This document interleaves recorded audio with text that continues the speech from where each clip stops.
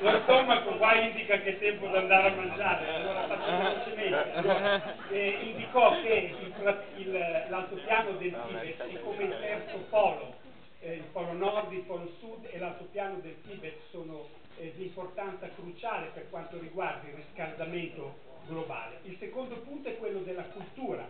Io faccio sempre differenza tra cultura buddista e la, eh, il, la religione buddista, come noi facciamo differenza in Occidente, eh, cultura cristiana e la religione cristiana. Nell'ambito della cultura cristiana nascono e si sviluppano tantissimi altri che non sono della religione cristiana ma che seguono la cultura cristiana. Eh, per cui nello stesso modo anche in Tibet, nella comunità tibetana abbiamo dei tibetani che sono musulmani, per cui non praticano la religione buddista, ma sono eh, dentro alla cultura tibetana, ne, ne fruiscono e, e, e, la praticano.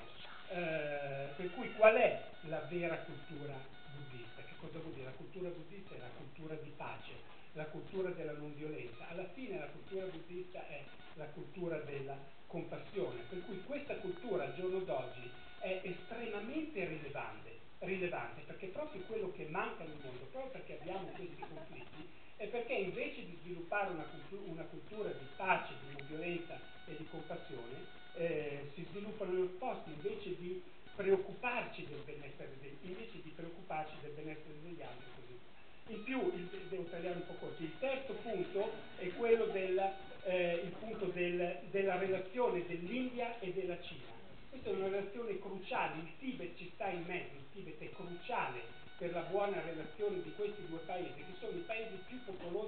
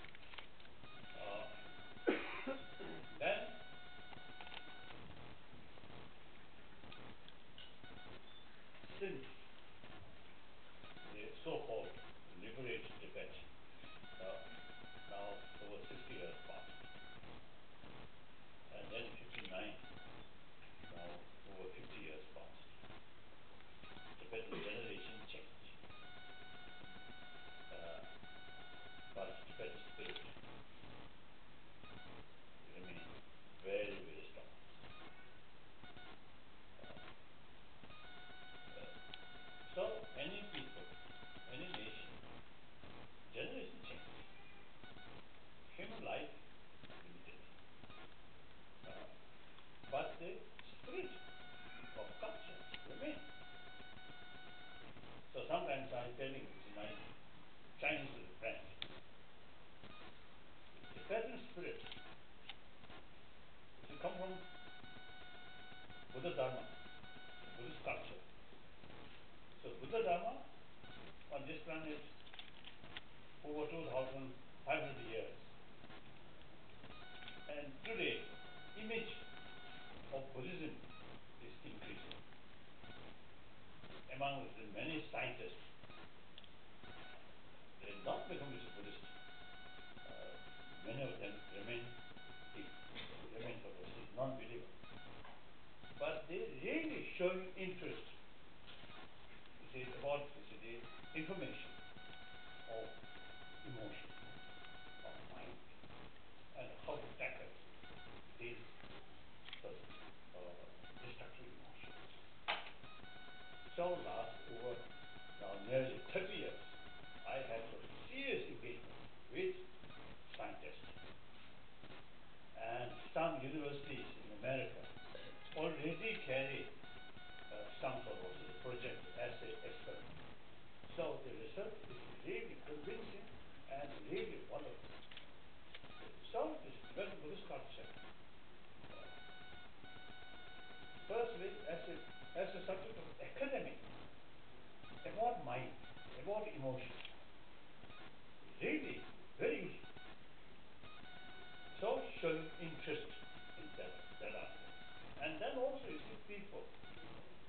traditionally non-Buddhist countries, some individual really showing interest about Buddhist practice. Then, uh, important in China, about three years ago, one university in Peking carried a survey how many Buddhists in China. about three years ago. You see, they found Buddhist population in China 300 million. Then last year, I met some Chinese. Then they say, nowadays, Buddhist population in China between over 400 million, between 4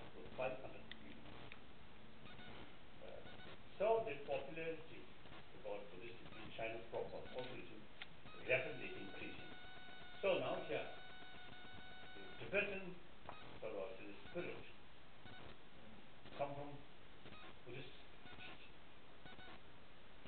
Uh, that, I, as I mentioned, 2,500 years old, an image of Buddhism. Now, Marxism, their spirit is to come from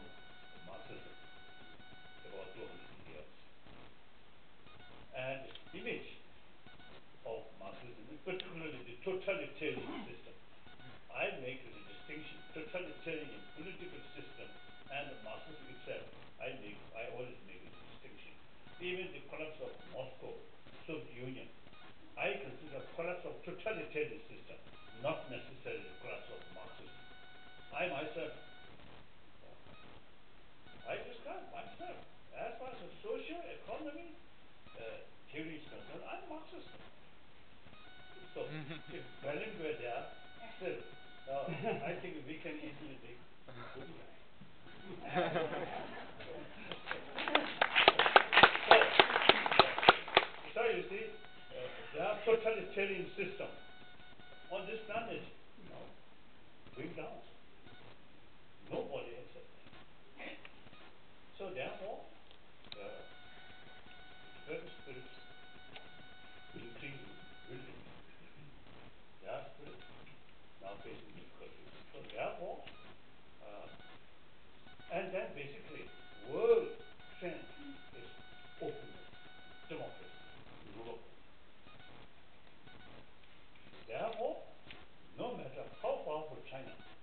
From China have to go around the world trend, cannot go this way. Therefore, only question of time. Things change, will change. And now, new leadership will come. I hope and pray they will follow on importance of advice from Deng Xiaoping, seeking truth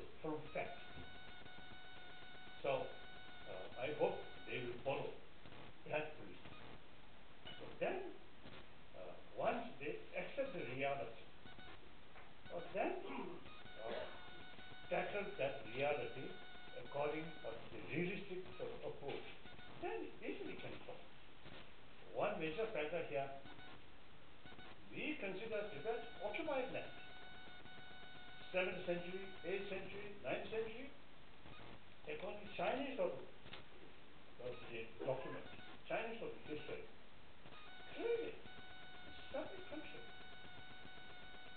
Culturally, linguistically, uh, even geographically, it is different. But one change uh, for our own interest, for interest for common. We are not seeking separation. We very much willing to remain within the people of China. If you see, they provide us meaningful autonomy and also respect to the culture, then it's mutual benefit. Remain within people of China and provide meaningful autonomy. Then we can go after our culture, our, our religion, uh, environment, all these carry full responsibility by Tibetan themselves.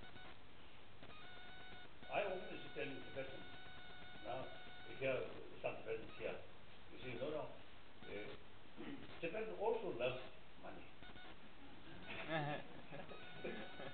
there are quite a number of Tibetans illegally immigrated to Europe and America, not to seek spirituality, plastic dollar. oh, so therefore, Tibet Material very backward. Every developer wants more material development, more material value also. So, let us again, material change. Uh, not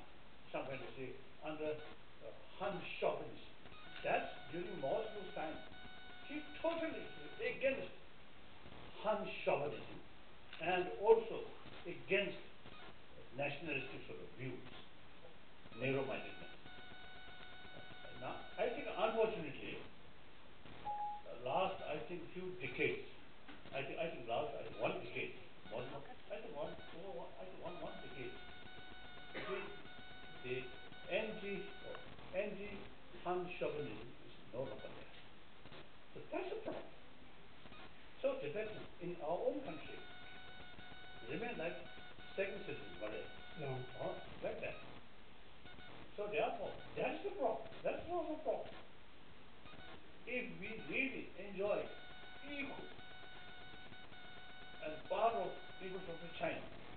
Not part of China, but People's Republic of China.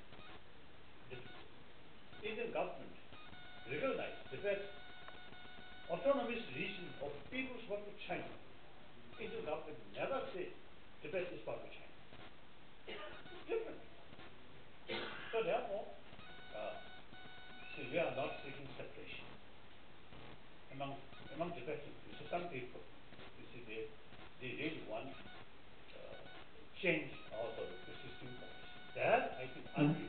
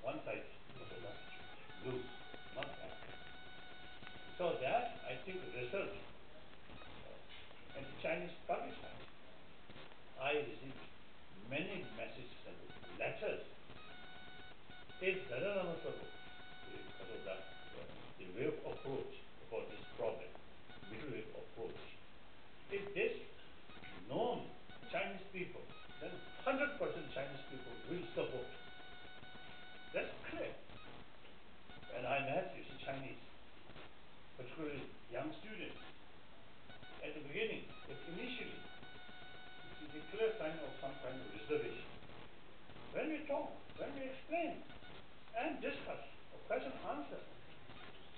Within a few minutes, the atmosphere completely changed. So that's the power of truth and the power of leadership approach.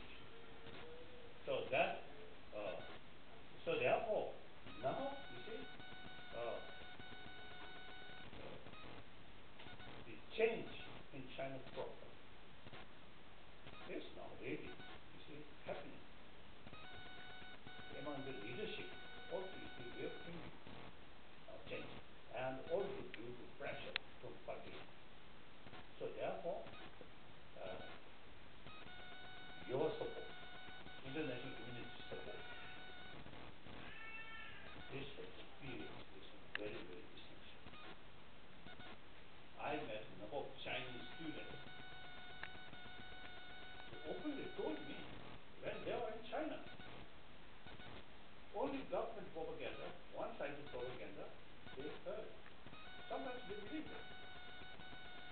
they come outside.